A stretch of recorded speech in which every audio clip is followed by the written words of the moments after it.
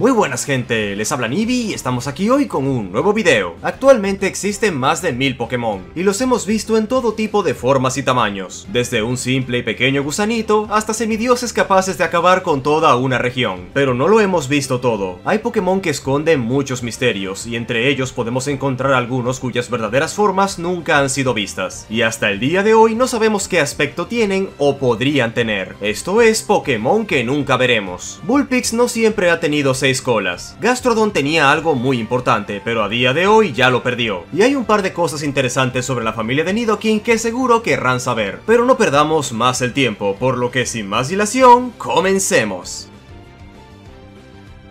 Vamos a empezar por Bullpix, un Pokémon de canto que todo mundo conoce, y más por su elegante evolución Ninetales. Estos dos Pokémon se inspiran en el Kyubi, un muy popular espíritu del folclore japonés que consiste en un zorro de múltiples colas. Este ha sido representado en muchas otras franquicias de ficción como Naruto, Digimon, Yokai Watch, etc. Centrándonos en la primera etapa, Bullpix es un diseño bastante simple. Es un zorrito algo caricaturizado y destaca por tener seis colas en vez de una. Lo curioso viene cuando analizamos lo que nos dice su entrada en la Pokédex de rojo y azul. Esta nos cuenta que cuando un Bullpix nace solamente tiene una cola, pero a medida que va creciendo, esta se divide desde la punta. Nunca hemos visto en algún medio oficial a un Bullpix con una sola cola, y cuando uno de estos nace en los juegos o en el anime ya tiene las 6. Pero aquí no acaba el asunto, porque originalmente Bullpix iba a tener una preevolución llamada Mikon. Este Pokémon estuvo originalmente pensado para aparecer en rojo y azul, pero fue eliminado por falta de espacio. Este posteriormente regresaría en la famosa demo de Pokémon Oro, aunque lastimosamente otra vez sería recortado dejando a Bullpix como una cadena de solo dos etapas. Si nos fijamos en el diseño de Mikon, notaremos que, es cierto, este solo tiene una cola, pero es una cola que ya se está comenzando a dividir en tres y posteriormente en seis. Como pequeño dato curioso, Mikon en japonés se puede traducir como tres ladridos de zorro, esto en alusión a sus tres colas. Es una lástima que por falta de espacio nos perdiéramos de tan adorable diseño.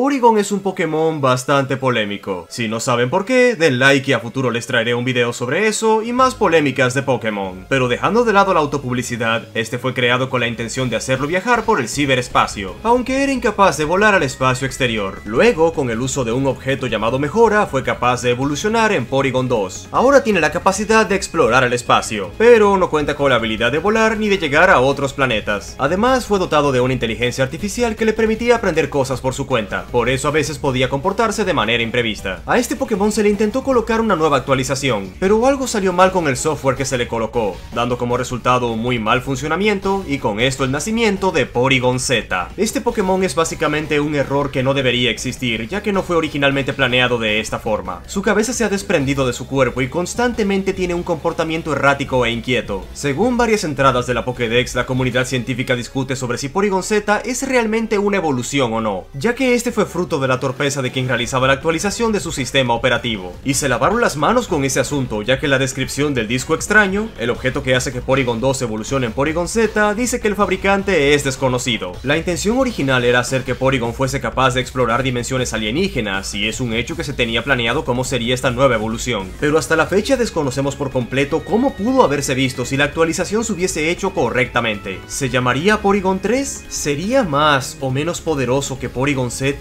¿Todavía tendría la cabeza unida al cuerpo? Puede que nunca lo sepamos.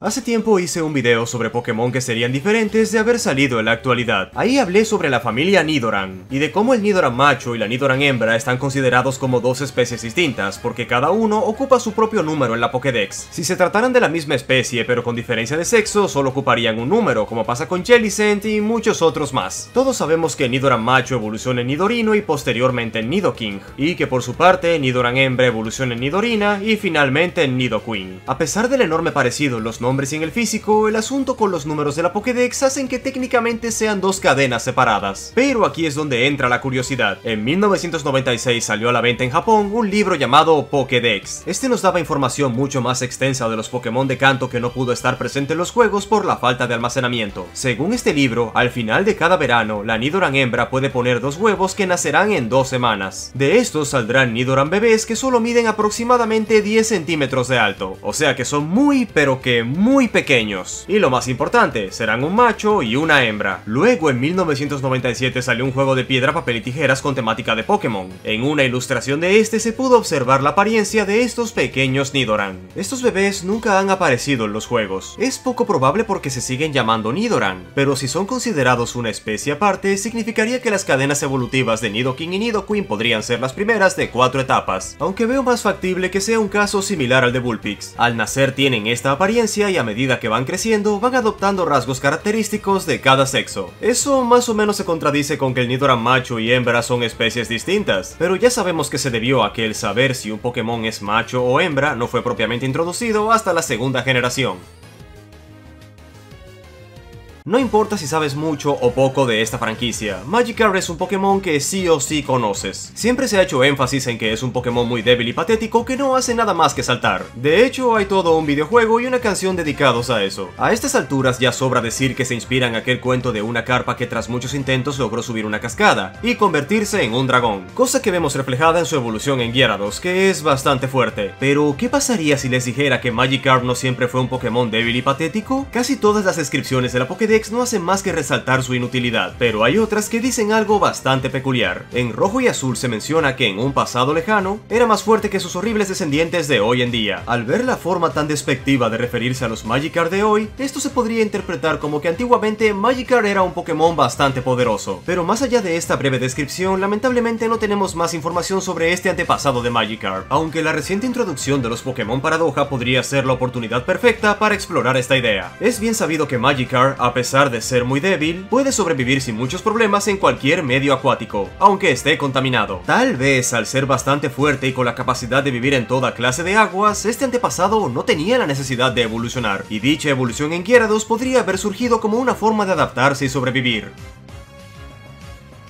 De un Pokémon de agua saltamos a otro, es turno de Gastrodon. Este y su preevolución Shelo son conocidos por tener dos formas distintas, en las que resaltan los colores azul y rosa. El de color rosa se llama forma Mar Oeste, y está más acostumbrado a vivir en aguas cálidas, mientras que el de color azul es conocido como forma Mar Este, y vive principalmente en aguas frías. Pero tenemos un asunto aquí, y es que al parecer no hemos visto cómo lucían los Gastrodon en el pasado, además de que, aparentemente, estas dos no son las únicas formas que existen en la actualidad. En varias entradas de la Pokédex se menciona que antiguamente los Gastrodon cargaban un caparazón en el lomo con el que se protegían, y también que están relacionados con especies como Shelder y Cloyster. Con el paso del tiempo fueron perdiendo este caparazón, pero en los Gastrodon actuales se pueden encontrar en sus células indicios de este. Eso quiere decir que hay un Gastrodon con caparazón que nunca hemos visto. Pero el asunto no termina aquí. Otro dato importante que nos da la Pokédex es que tenemos en la actualidad dos formas confirmadas de Gastrodon, pero los investigadores investigadores están buscando y buscando en el mar una variedad de un color nunca antes visto, así que podrían o no existir Gastrodon de otros colores. Lo más cercano que tenemos a una respuesta de esto es una entrevista que se le hizo a Junichi Masuda en la revista Nintendo Power. Este dijo que Sheros y Gastrodon estaban originalmente planeados para aparecer en Rubí y Zafiro, pero la idea fue pospuesta hasta Diamante y Perla, y curiosamente en los datos de estos juegos hay un sprite beta de Gastrodon. Si las formas que conocemos se llaman Mar Este y Oeste, estaría interesante que a futuro den las formas norte y sur, y que igual tengan colores opuestos.